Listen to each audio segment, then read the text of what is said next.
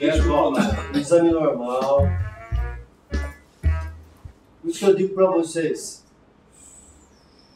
Você tem que saber um pouco da história. O que é que tem essa pessoa aqui olhando esse traçado? Vamos lá? Ponta onda lenta. Ponta onda lenta? Seguida de onda lenta. O que, que eu falei, que que eu falei para vocês no começo? Poliponta. Ela até tem uma poliponta aqui, realmente tem, viu? Finalizada, só levando simétrico, preciso. Dois, né? Dois, dois e meio. E depois, o que acontece, ó? Um, dois, três. O que é que eu falei para vocês na ausência? Ela começa lenta, vai para 3 Hz e depois pode acabar até mais rápido, ou mais lenta. Aí é verdade. Aqui é o caso ao contrário, né? Começou mais rápido ou não? Deixa eu ver. Começou mais rápido um pouco? Não, começou lenta. Começou lenta. Ó, os padrões todos podem existir, tá? Começou, essa aqui começou lenta, foi para 3 Hz depois, certo? Em algum lugar está 3 Hz aqui. Fazer uma análise de amplitude, peraí. Vai dar anterior, mas o. o aqui, peraí. Ó, vocês estão vendo que interessante, ó? Dá um pico anterior. Aí você fala para mim, não, mas isso aí, isso aí para mim é um Lennox. Ó, a menina tá na escola perfeita, normal, tá?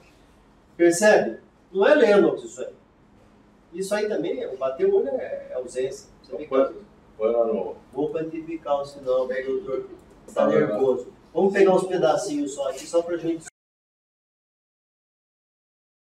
Como é que você fez aquela coordenada ali? Como é que você fez a coordenada de Guarani?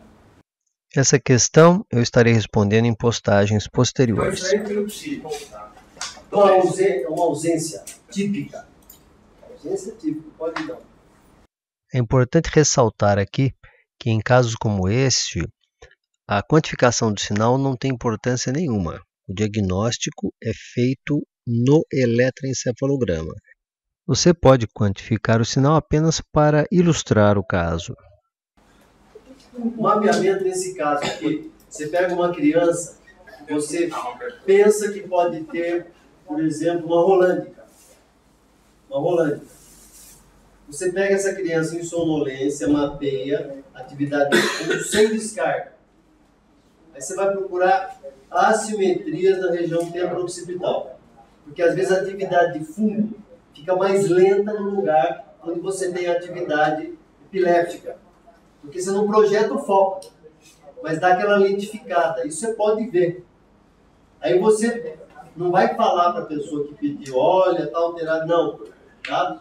Mas você fica esperto. Você anota, você guarda aquilo, porque pode ser que naquela região apareça a ponta depois. Obrigado pela presença. Obrigado. Obrigado.